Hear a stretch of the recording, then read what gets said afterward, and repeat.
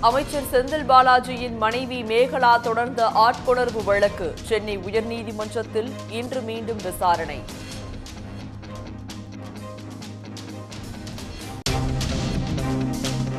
இமாச்சல பிரதேசத்தில் இயற்கையின் கோர தாண்டவம்.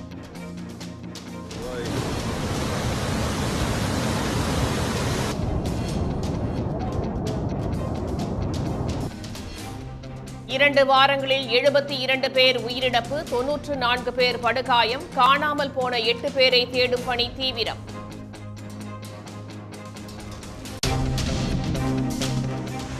ஹிமாச்சலில் ஐம்பது ஆண்டுகளில் இல்லாத அளவிற்கு பெய்த கனமழையால் ஆறுகளில் பெருவெள்ளம். பாலங்கள் வீடுகள் தங்கும் விடுதிகள் நீரில் அடித்து செல்லப்பட்டதால் மூன்றாயிரம் கோடி ரூபாய் இழப்பு.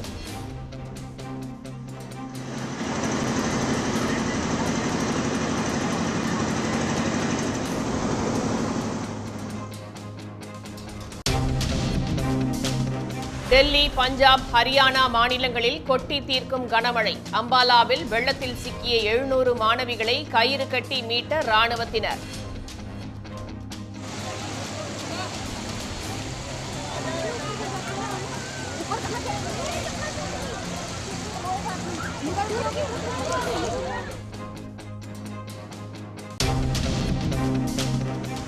தமிழ்நாட்டின் பெரும்பாலான மாவட்டங்களில் பலத்த காற்றுடன் மிதமான மழை. அடுத்த ஐந்து நாட்களுக்கு மழை நீடிக்கும் என்று வானிலை ஆய்வு மையம் தகவல்.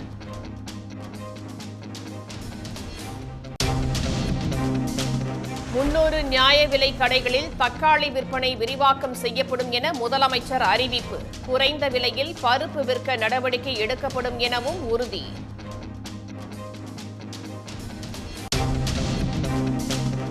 காஷ்மீருக்கு சிறப்பு அந்தஸ்து வழங்கிய முன்னூற்று எழுபதாவது பிரிவு ரத்து செய்யப்பட்டதற்கு எதிரான விளக்குகள் நான்கு ஆண்டுகளுக்கு பிறகு உச்சநீதிமன்ற அரசியல் சாசன அமர்வு இன்று விசாரணை.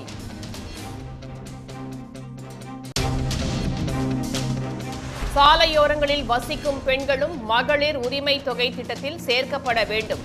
ஆவணங்கள் இல்லாதோருக்கும் உரிமை தொகை கிடைத்திட தமிழ்நாடு அரசு விரிவான முன்னேற்பாடு.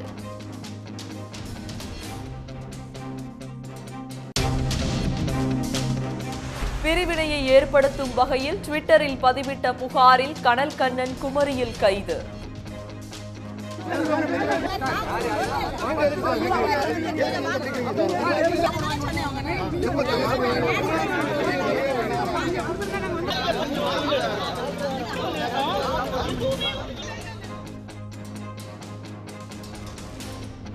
ஏடிஜிபி டேவிட்சன் தேவாசிர்வாதம் திருமாவளவனுக்கு கொலை மிரட்டல் விடுத்த இந்து அமைப்பின் நிர்வாகி சென்னையில் கைது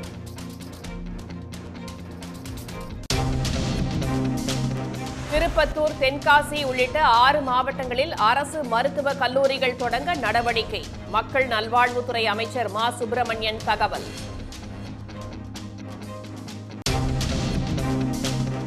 பருத்திக்கு உரிய விலை கிடைக்கவில்லை என்று சீர்காழி விவசாயிகள் வேதனை. மழையில் நனைந்த பருத்தி மூட்டைகளுக்கு இழப்பீடு கோரி கொட்டும் மழையில் ஆர்ப்பாட்டம்.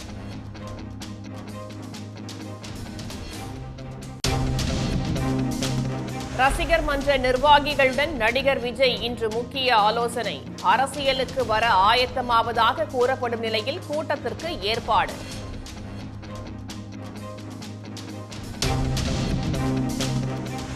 சிம்புவின் நாற்பத்தொன்பதாவது படத்தை இயக்குகிறார் அடங்க மறு திரைப்பட இயக்குனர் கார்த்திக் தங்கவேல். ஏ ஆர் ரஹ்மான் இசையமைக்க உள்ளதாகவும் தகவல்.